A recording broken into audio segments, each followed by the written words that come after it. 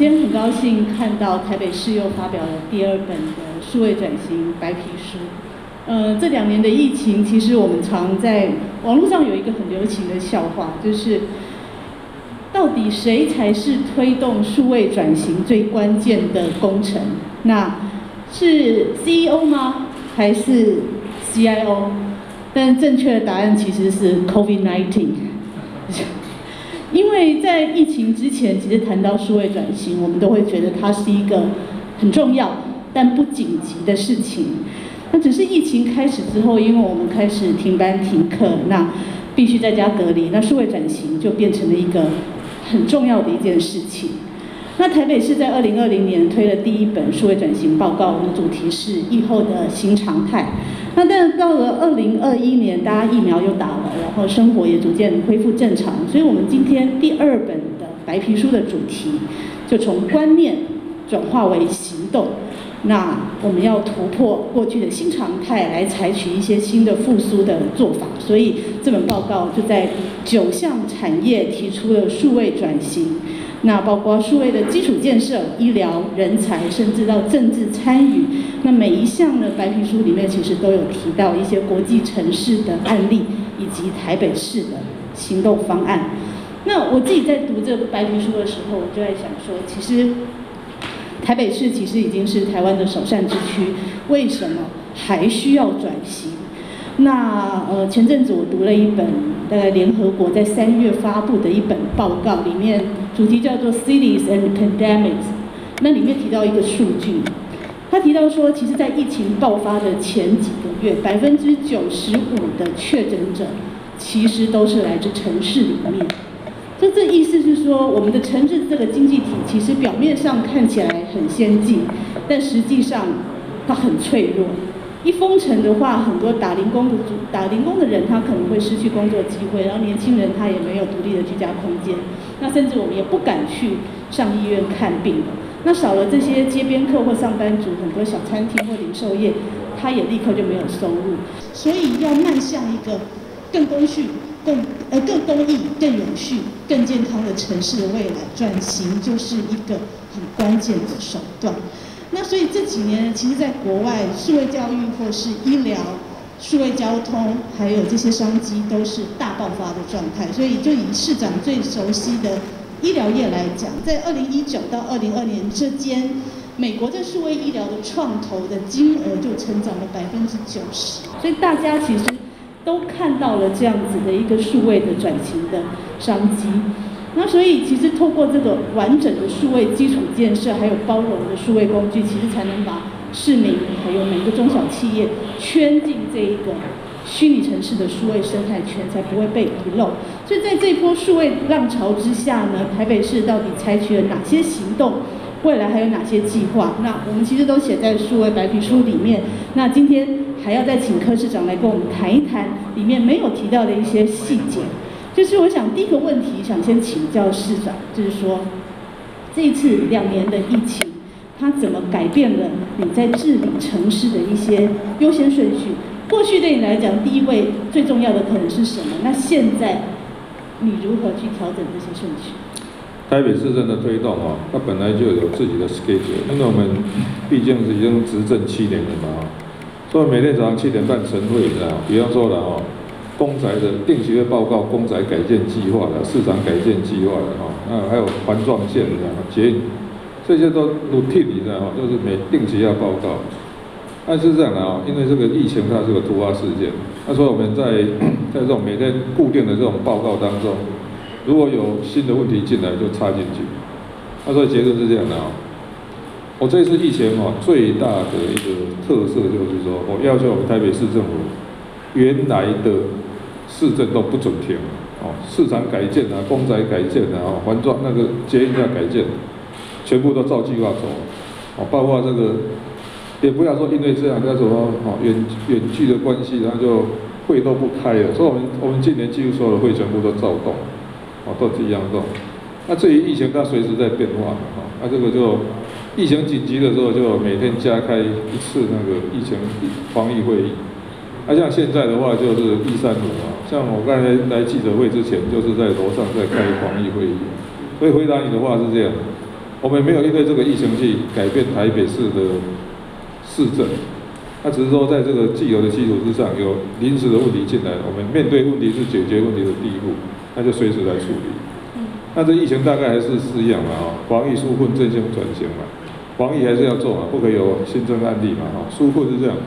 还是有人因为这个案件哦受受损嘛，哈，生活困难嘛，这要处理。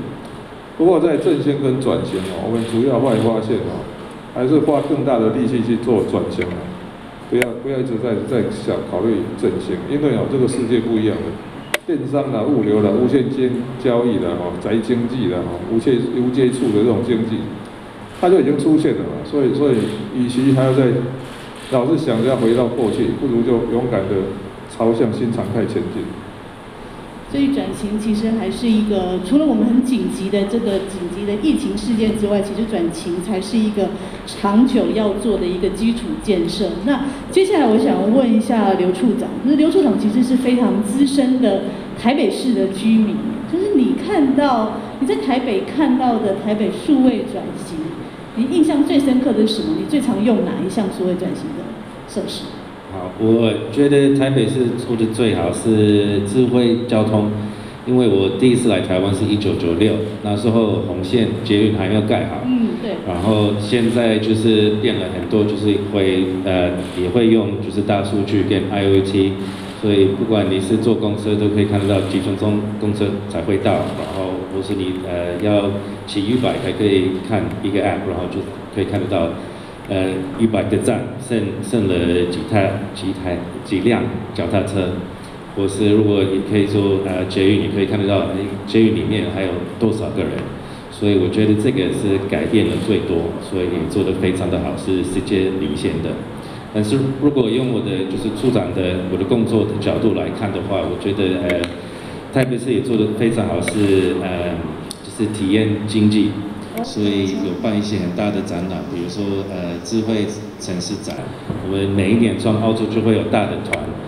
到台湾来参加这个展览，然后都会有五到十个澳洲的市长或是副市长参加。所以上一次就是疫情前，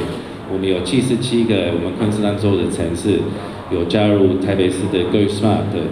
这个计划，然后后来就呃台北市的申通电脑。就跟我们两个昆士兰的城市合作，做一些智智慧城市的计划。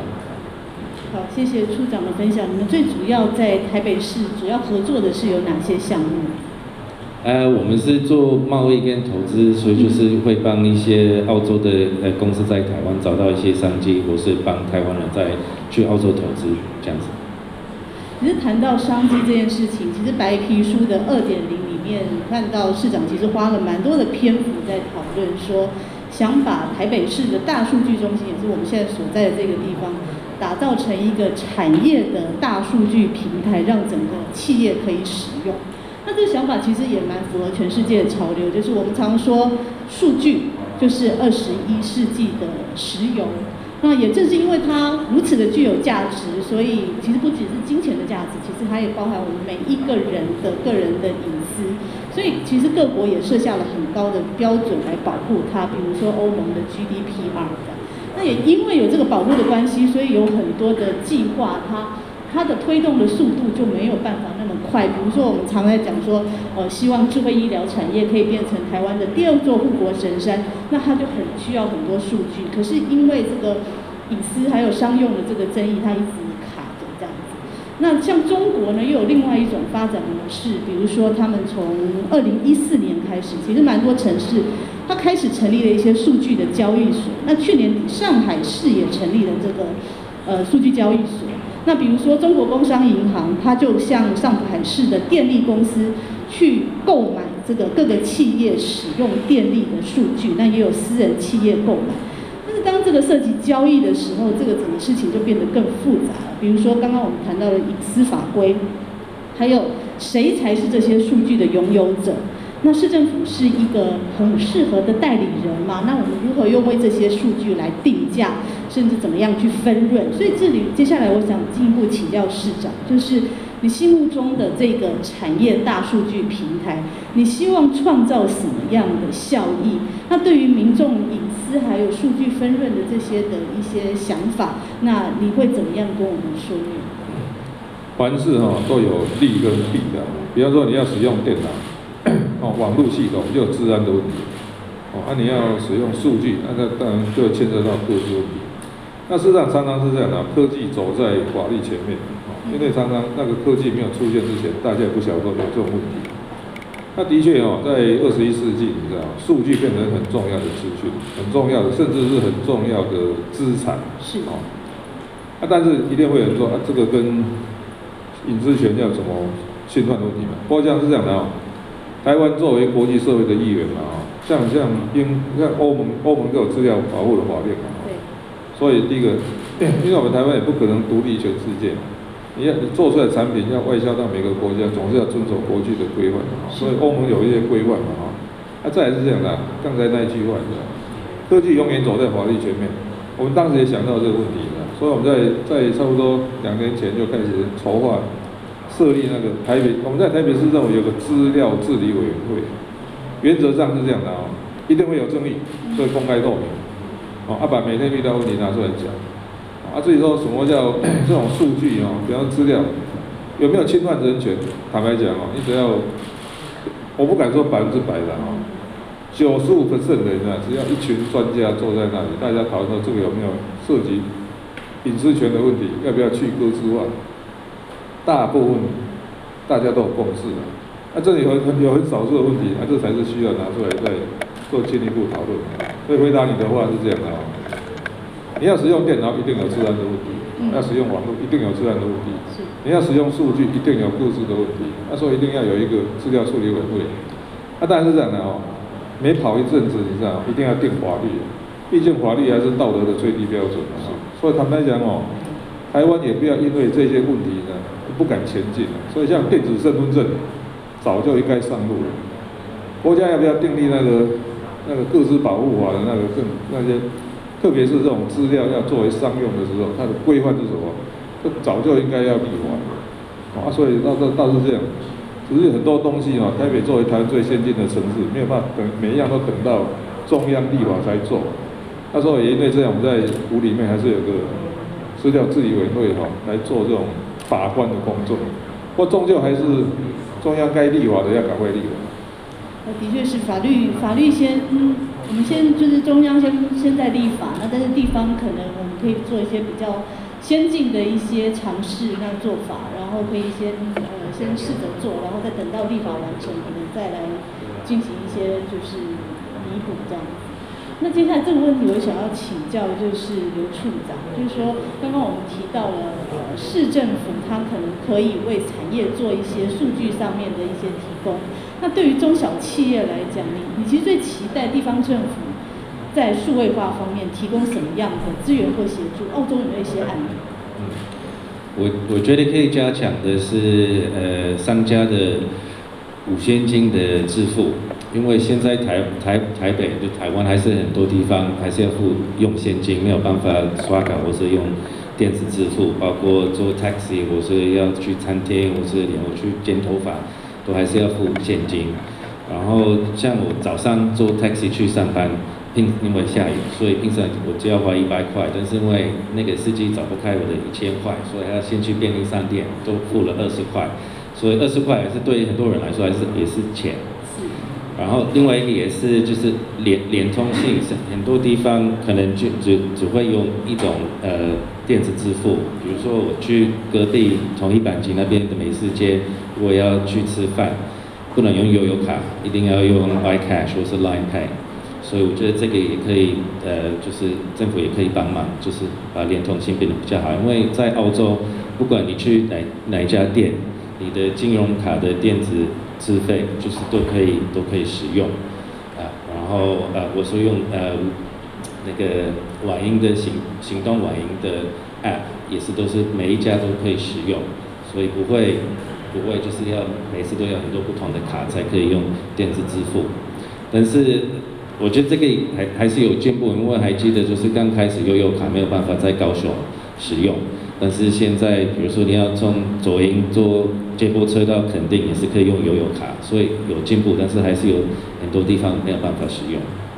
对我们这个的确还需要一段时间，慢慢的把各种的这种支付的方式普及到不同的通路。那我知道在其实，在白皮书里面，其实市长也提，也花了蛮多的篇幅在讨论，就是如何让中小企业也可以使用电子支付的这个部分。那其实，所以接下来最后一个问题，我想请教市长，就是说，呃，你对你来讲，台北市应该要做到什么样的程度，才达到你心目中数位转型成功的定义？这题其实哦，没有最好，只有更好的。事实上，我们每天哦都会遇到新的问题，不断的前进。像他刚才在讲无现金交易的普及化，哦，能不能用一个卡用在所有地方？哎，这个是问题。哦，所以我们如果让台北市这种无现金交易整个生态系统百分之百建立，哎，这个是问题。所以回答你的话，你知道其实没有最好，只有更好。所以应该是每天遇到问题，不断的前进。那当然是这样的。就我们从爱沙尼亚的经验，你知道吗一个国家要建立一个医化，你知道，最重要还是 identification，就是说你是谁这个问题要先解决的。所以这为什么最近这半年来啊，台北市政府用力在推哈一卡一通一户，台北通又有卡又有户，一卡一通一户，你知道吗？就是说你要有一个 有一个电子支付的账户嘛，哦，你要一张卡嘛，哦，你要一个那个。用手机为基础的这种身份辨识啊，一卡一动一物，那这个生态系统一建立的话，哈，我想会更有助于在上面再架构其他东西。所以硬核需求基础建设还是政府要负责。好，呃，谢谢。市长跟我们的提醒，其实最后就是，其实市政府很重要的是做一个基础建设。那接下来可能企业还有中小企业，甚至是嗯国外驻台的这些办事处，我们可能很多的服务或很多的呃数位化的转型，才能慢慢的架架构在上面。那今天我们的这个座谈就到这边结束。那谢谢市长，还有谢谢处长今天的参与。谢谢。